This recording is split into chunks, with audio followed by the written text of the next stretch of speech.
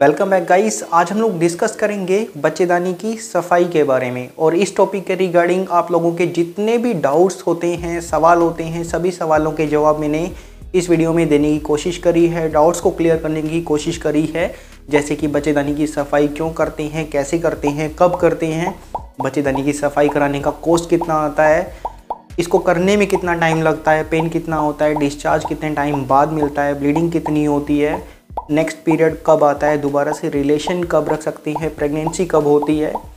Diet plan कैसा रखना चाहिए? बच्चेदानी की सफ़ाई होने के बाद क्या क्या इसके साइड इफ़ेक्ट्स होते हैं? और भी काफ़ी सारे सवाल हैं जो कि हम लोग इस वीडियो में डिस्कस करेंगे। और आप लोगों के जितने डाउट्स थे, वो सभी इस वीडियो में ही क्लियर हो जाएँगे। अगर आप इस वीडियो को बिना स्किप किए देखेंगे तो चलिए स्टार्ट करते हैं वीडियो को बिना किसी डिले के।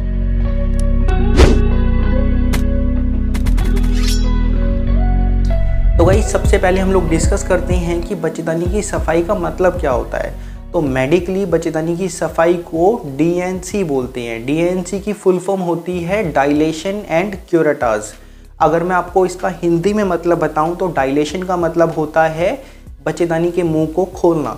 और क्यूरेटास का मतलब होता है बच्चेदानी की जो अंदर वाली परत है, जिसे एंडोमीट्रियम परत बोलते हैं, उसको छीलना या फिर खुरचना। तो डीएनसी मतलब बच्चेदानी की सफ़ाई करते समय हम लोग क्या करते हैं? औजारों से हम लोग बच्चेदानी के मुँह को खोलते हैं और औजारों की सहायता से हम लोग बच्चेदानी की जो अंदर वाली परत है, जिसे एंडोमीट्रियम परत कहते हैं, उसको हम लोग छीलते हैं, खुरचते हैं और औजारों की सहायता से इस परत को हम लोग बाहर निकाल लेते हैं और बच्चेदानी को हम लोग खाली कर देते हैं। इसी को बच्चेदानी की सफ़ाई करना बोलते हैं। अब यहाँ से बात निकल कर आती है कि हम लोग बच्चेदानी की सफ़ाई क्यों करते हैं? तो देखिए, बच्चेदानी की सफ़ाई करने के बहुत सारे कारण होते हैं। जैसे कि मान लीजिए कि किसी पेशेंट की एक अच्छी खासी प्रेगनेंसी थी, लेकिन प्रेगनेंसी के दौरान उन्हें अचानक से तेज़ ब्लीडिंग शुरू हो जाती है, दर्द ज़्यादा होता है, और जब वो अपने डॉक्टर के पास जाते हैं तो डॉक्टर उनको बताते हैं कि उनका मिसकैरेज हो गया है, और उन्हें बच्चेदानी की सफ़ाई कराने की सलाह देते हैं। इसी प्रकार अगर कोई पेशेंट अल्ट्रासाउंड कराता है और अल्ट्रासाउंड में प्रेगनेंसी की ग्रोथ प्रॉपरली नहीं आती है, या फिर बच्चे की हार्ट बीट दिल की धड़कन नहीं आती है, या कभी कभी बच्चे की दिल की धड़कन आती है, लेकिन वो चली जाती है तो ऐसी कंडीशन में भी आपके डॉक्टर बच्चेदानी की सफ़ाई कराने की सलाह देते हैं। वहीं कुछ ऐसे केसेस भी होते हैं जहाँ पर अनमेरिड कपल्स को अनवांटेड प्रेगनेंसी हो जाती है, या फिर मैरिड कपल्स को भी अगर प्रेगनेंसी हो जाती है और उन्हें ये प्रेगनेंसी चाहिए नहीं होती है और अगर वो इस प्रेगनेंसी को ख़त्म करना चाहते हैं तो जब वो डॉक्टर के पास जाते हैं तो डॉक्टर उन्हें अबोशन कराने की सलाह देते हैं। अब देखिए अबोशन दो प्रकार से हो सकते हैं। पहला है दवाइयों के माध्यम से अपनी प्रेगनेंसी को ख़त्म करना, जिसे मेडिकल अबोशन बोलते हैं। दूसरा है आप बच्चेदानी की सफ़ाई कराकर अपनी प्रेगनेंसी को ख़त्म कर सकते हो, जिसे सर्जिकल अबोशन बोलते हैं। अब जो दवाइयों के माध्यम से अपनी प्रेगनेंसी को ख़त्म करने की बात आती है तो उसका एक सीमित समय है। उनचास दिन के अंदर अंदर आप दवाइयाँ खाकर अपनी प्रेगनेंसी को ख़त्म कर सकते हो। लेकिन अगर ये समय उनचास दिनों से ज़्यादा का हो जाता है तो फिर आपको बच्चेदानी की सफ़ाई करवानी पड़ती है। आप बच्चेदानी की सफ़ाई करवा कर बारह सप्ताह तक की प्रेगनेंसी को ख़त्म कर सकते हो। लेकिन अगर यह समय 12 सप्ताह से ज़्यादा का हो गया है तो आप दो डॉक्टरों की निगरानी में 20 सप्ताह तक की प्रेगनेंसी को ख़त्म कर सकते हैं। वहीं जिन लोगों ने दवाइयाँ खाकर अपनी प्रेगनेंसी को ख़त्म किया और बाई चांस अगर उनकी प्रेगनेंसी ख़त्म नहीं होती है, उनका इनकम्प्लीट अबोशन होता है मतलब कि प्रेगनेंसी के कुछ प्रोडक्ट्स तो निकल जाते हैं शरीर से बाहर, लेकिन कुछ प्रोडक्ट्स बच्चेदानी में ही रह जाते हैं तो ऐसी कंडीशन में भी आपके डॉक्टर बच्चेदानी की सफ़ाई कराने की सलाह देते हैं। इसके अलावा मोलर प्रेगनेंसी की कंडीशन में भी आपको बच्चेदानी की सफ़ाई कराने की सलाह देते हैं। इसके अलावा अगर किसी महिला को बिना किसी कारणवश वजाइनली ब्लीडिंग हो रही है, जिसका हमें कारण पता नहीं है तो भी डॉक्टर आपको बच्चेदानी की सफ़ाई कराने की सलाह देते हैं और अंदर से जो भी चीज़ें निकलती है, उसको हम लोग लेबोरेटरी में भेज देते हैं हिस्टोपैथोलॉजिकल एग्जामिनेशन के लिए। और जो रिपोर्ट आती है, उसके बेसिस पर हमें पता लगता है कि ये जो ब्लीडिंग है, इसके होने का कारण क्या है, क्या? इसके अलावा जब महिलाओं की उम्र 45 साल से ज़्यादा हो जाती है, जिसे एक मेनोपोज एज कहते हैं और इस एज में पीरियड्स नहीं आते हैं। लेकिन कुछ महिलाओं में जो पीरियड्स हैं, वो बंद नहीं होते, उनको लगातार ब्लीडिंग रहती है। अल्ट्रासाउंड कराते हैं तो उसमें बच्चेदानी की जो परत है, वो सामान्य से ज़्यादा मोटी दिखती है, जो कि यूजली कैंसर को इंडिकेट करता है। तो ऐसी कंडीशन में भी कुछ डॉक्टर आपको बच्चेदानी की, सफ़ाई कराने की सलाह देते हैं और अंदर से जो भी चीज़ें निकलती है, उसको हम लोग लैब में भेज देते हैं बायोप्सी के लिए।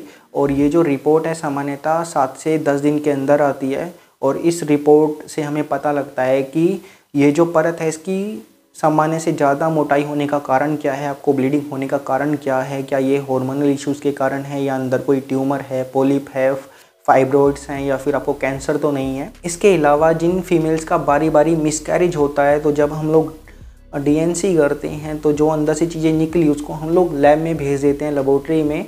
और लेबोरेटरी में फिर माइक्रोस्कोप के अंदर इन चीज़ों को एग्ज़ामिन किया जाता है, जिससे हमें पता लगता है कि बारी बारी मिसकैरेज होने का कारण क्या है। क्या ये इन्फेक्शन के कारण है वायरल इन्फेक्शन के कारण बैक्टीरियल इन्फेक्शन के कारण, या फिर ये हार्मोनल इश्यूज़ के कारण हो रहा है, या फिर आपको गुणसूत्रों में खराबी के कारण है या जेनेटिक डिसऑर्डर के कारण या फिर डीएनए रिलेटेड इश्यूज़ के कारण आपको बारी बारी मिसकैरेज हो रहा है तो इन सभी कारणों के कारण आपकी डीएनसी मतलब कि बच्चेदानी की सफ़ाई की जाती है। आगे हम लोग डिस्कस करते हैं कि बच्चेदानी की सफ़ाई कराने का खर्चा कितना आता है।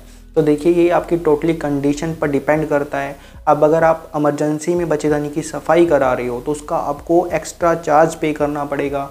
अगर आपकी जो कंडीशन है वो बहुत ज़्यादा ख़राब है, आपको तेज़ ब्लीडिंग हो रही है, खून की कमी है तो आपको खून की बोतल लगाएँगे, उसका आपको अलग से खर्चा देना पड़ेगा।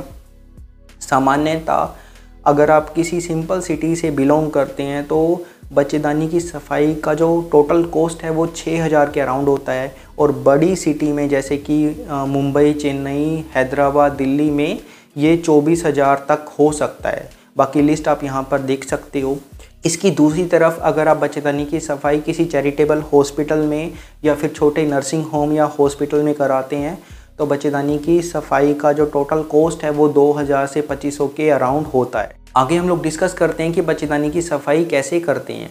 तो देखिए बच्चेदानी की सफ़ाई करने से पहले का एक प्रोसेस होता है, जब आप डॉक्टर के पास जाते हैं तो डॉक्टर पहले आपकी हिस्ट्री लेते हैं कि भाई आपको कोई मेडिसिन तो नहीं चल रही है, अगर आपको कोई खून पतला करने वाली मेडिसिन चल रही है तो आपकी डीएनसी नहीं होती, आपको तीन दिन पहले वो दवाइयाँ बंद करनी होती है। फिर डॉक्टर आपको फिज़िकली एग्ज़ामिन भी करते हैं, ताकि देख सकें कि भाई बच्चेदानी का मुँह खुला है कि नहीं खुला है, जिसे पीवी एग्ज़ामिनेशन बोलते हैं। अगर बच्चेदानी का मुँह खुला नहीं होता है तो फिर आपको एक टैबलेट देते हैं खाने के लिए या फिर वजाइना में रखने के लिए, जिससे बच्चेदानी का मुँह खुल जाता है और सॉफ्ट भी हो जाता है। ठीक है? और फिर आपके कुछ रूटीन टेस्ट भी डॉक्टर करवाते हैं, जैसे कि सी और H I V hepatitis C hepatitis B urine routine blood sugar ठीक है? ये जो टेस्ट हैं, ये रूटीन में होते हैं, जो कि कंपलसरी होते हैं कराने। फिर आपको एक कंसेंट पेपर दिया जाता है और इसमें आपको डीएनसी से होने वाले जोखिम के बारे में बताया गया होता है, ठीक है?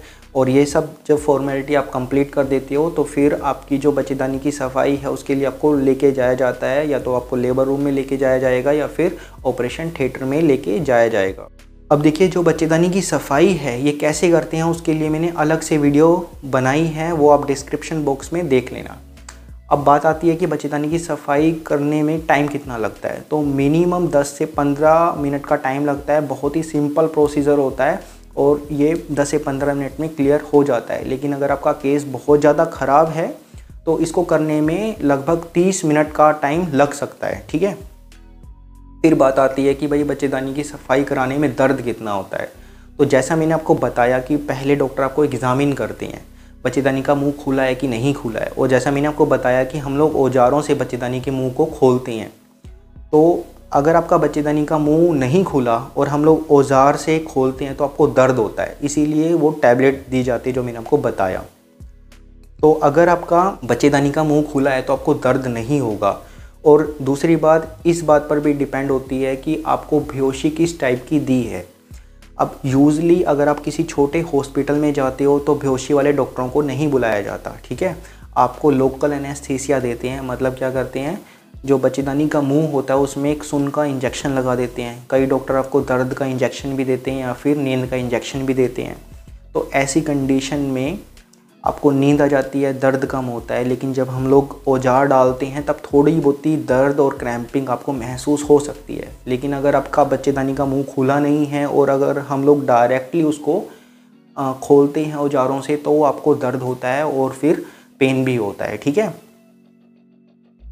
इसकी दूसरी तरफ़ अगर आपको शॉर्ट जीए देते हैं जनरल एनेस्थीसिया देते हैं तो आप पूरे बेहोश हो जाते हो। आपकी डीएनसी कब हुई मतलब बच्चेदानी की सफ़ाई कब हुई, आप कब ऑपरेशन थिएटर से या फिर लेबर रूम से बाहर आ गए, आपको कोई आइडिया नहीं रहता है। अब ये जो जनरल एनेस्थीसिया फ़ीस है, इसका ज़्यादा चार्ज होता है। और जो लोकल एनेस्थीसिया का चार्ज है, वो नामात्र ही होता है, ठीक है? तो वो आपको देखना है कि अगर आप जनरल एनेस्थीसिया का चार्ज दे सकते हो तो मच बेटर रहेगा, आपको दर्द कम होगा, ठीक। आगे हम लोग डिस्कस करते हैं कि आपको डिस्चार्ज कितने टाइम बाद मिलता है बच्चेदानी की सफ़ाई कराने के बाद। तो देखिए, ये आपकी टोटली कंडीशन पर डिपेंड करता है कि आपको किस टाइप का एनेस्थीसिया दिया है। अगर आपको लोकल एनेस्थीसिया दिया है तो आप होश में ही रहोगे। और ज़्यादातर मैंने देखा है कि जो पेशेंट है, वो डेढ़ से दो घंटे में बिल्कुल फिट एंड फाइन हो जाता है, खाने पीने लगता है, उठकर बैठ भी जाता है। उनको अगर नींद का इंजेक्शन दिया है तो डेढ़ से दो घंटे में रिकवर हो जाता है और हम लोग फिर चाय बिस्कुट वगैरह दे के पेशेंट को देख लेते हैं कि वो डाइजेस्ट कर रहा है कि नहीं कर रहा और फिर तीन से पाँच दिन की दवाइयाँ देकर पेशेंट को घर भेज देते हैं। इन दवाइयों में एंटीबायोटिक्स होती हैं, पेन किलर होती हैं और सूजन को कम करने वाली दवाइयाँ होती हैं, ठीक है? दूसरी तरफ़ अगर आपको पूरा बेहोश किया है तो पेशेंट को छः से आठ घंटे का टाइम लग जाता है। जब होश में आता है पेशेंट फिर हम लोग उसको खाने पीने के लिए देते हैं। अगर पेशेंट को डाइजेस्ट हो जाता है तो फिर हम लोग मेडिसिन दे के पेशेंट को घर भेज देते हैं। आगे हम लोग डिस्कस करते हैं कि आपको डीएनसी के बाद किन बातों का ध्यान रखना है। तो नंबर वन जो मैंने देखा है कि पेशेंट को जब हम लोग मेडिसिन देते हैं तो पेशेंट मेडिसिन नहीं लेता है। और जैसा मैंने आपको बताया कि ये जो पेशेंट की मेडिसिन है, इसमें एंटीबायोटिक्स और दर्द कम करने वाली दवाइयाँ और सूजन कम करने वाली दवाइयाँ हैं। तो ये दवाइयाँ आप लोगों के लिए बहुत इंपॉर्टेंट होती है। इसको टाइम टू टाइम लेना ज़रूरी होता है। फिर मैंने देखा है कि ज़्यादातर जो फीमेल्स हैं, वो आराम नहीं करती हैं, जिससे उनको बाद में ब्लीडिंग भी रहती है, काफ़ी लंबे टाइम तक और पेट में सूजन भी आ जाती है। तो डीएनसी के बाद मतलब बच्चेदानी की सफ़ाई के बाद आपको तीन से पाँच दिन का रेस्ट करना ज़रूरी होता है। और उसमें आपको हैवी वर्क नहीं करना होता, ज़्यादा टाइम चलना नहीं होता, ज़्यादा टाइम खड़े नहीं रहना होता। अगर आप जिम जाते हो एक्सरसाइज करते हो योगा करते हो तो ये सब चीज़ें आपको अवॉइड करनी है। इंटर कोर्स आपको स्टिकली अवॉइड करना है। ज़्यादा आपको मिर्च मसाला या फिर गर्म चीज़ें नहीं खानी हैं। और आपको मैंचुअल कप यूज़ नहीं करना है टैम्पून यूज़ नहीं करना है वजाइना को अंदर से धोना नहीं है, ठीक है? वरना आपको इन्फेक्शन हो सकता है। आगे हम लोग डिस्कस करते हैं कि बच्चेदानी की सफ़ाई होने के बाद आपको किन बातों का ध्यान रखना है। तो नंबर वन कि आपको ब्लीडिंग नहीं होनी चाहिए। अब जैसा मैंने आपको बताया कि बच्चेदानी की सफ़ाई में एक बार तो यूट्रस को, बच्चेदानी को हम लोग पूरा खाली कर देते हैं तो आपको ब्लीडिंग नहीं होती है। लेकिन अगर आपका केस ज़्यादा गंदा था या फिर प्रेगनेंसी ज़्यादा दिनों की थी तो आपको कुछ टाइम के लिए ब्लीडिंग हो सकती है हैवी ब्लीडिंग हो सकती है। हैवी ब्लीडिंग कितनी हैवी ब्लीडिंग अगर आपको एक घंटे में एक पैड यूज़ हो रहा है या उससे ज़्यादा पैड यूज़ हो रहे हैं तो आपको हैवी ब्लीडिंग है। अब ये जो हैवी ब्लीडिंग है, ये आठ घंटे से ज़्यादा नहीं होनी चाहिए। अगर है आठ घंटे से ज़्यादा तो आप अपने डॉक्टर से कंसल्ट करें। नंबर टू कि आपको पेन ज़्यादा नहीं होना चाहिए। अब कितना pain heavy pain heavy cramping नहीं होनी चाहिए। हैवी क्रैम्पिंग से मतलब मेरा ये है कि आपको दर्द हो रहा है और आप दर्द की गोलियाँ भी खा रहे हो, लेकिन आपको स्टिल दर्द हो रहा है तो ये एबनॉर्मल कंडीशन है, जिसके लिए आपको डॉक्टर से मिलना है। अगला है कि आपको फीवर नहीं आना चाहिए। आपको 101 डिग्री फ़ारेनहाइट से ज़्यादा बुखार नहीं आना चाहिए। अगर आ रहा है तो डॉक्टर से आपको मिलना है। अगला है कि आपको वजाइना के रास्ते से किसी टाइप का डिस्चार्ज नहीं निकलना चाहिए, जिसमें से स्मेल आ रही हो। मवाद टाइप का डिस्चार्ज नहीं निकलना चाहिए। अगला है कि बच्चेदानी की सफ़ाई के बाद थोड़ी बहुत ही ब्लीडिंग या फिर आपको स्पोर्टिंग हो सकती है वाइट डिस्चार्ज ब्राउन डिस्चार्ज आपको हो सकता है पेन आपको हो सकता है, लेकिन अगर ये सभी चीज़ें आपको सात दिन से ज़्यादा परसिस्ट कर रही हैं, लगातार बनी हुई हैं तो ये एक एबनॉर्मल कंडीशन है जिसके लिए आपको डॉक्टर से कंसल्ट करना है। आगे हम लोग डिस्कस करते हैं कि बच्चेदानी की सफ़ाई के बाद ब्लीडिंग कितने दिन तक होती है। तो बच्चेदानी की जब हम लोग सफ़ाई करते हैं तो बच्चेदानी के मुँह को खोलते हैं हम लोग, ठीक है?